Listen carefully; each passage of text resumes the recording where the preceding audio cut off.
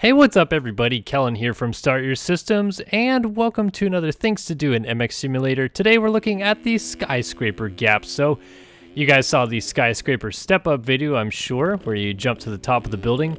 But what happens if you build a building next to it and create some ramps to jump across it? Uh, I uh, got this inspiration a little bit from Travis Pastrana jumping building to building in Los Angeles. I believe that was back in 2009.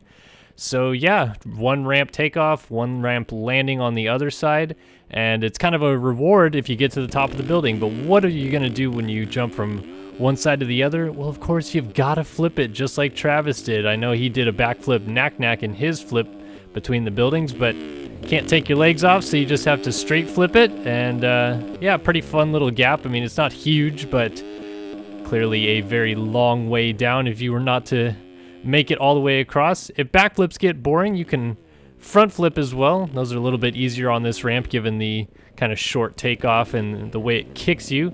Um, and then I also included this cheeky little ramp to jump back over for easy access to the other side. But it, that little ramp actually makes an epic, epic transfer down to the landing uh, from the first building if you can get the angle just right on that. So that's kind of cool. Uh, but yeah, download this in the description below to update your SYS playground map. And um, yeah, even you can jump from building to building just like me. So hope you guys enjoyed this one. I'll see you guys in the next one.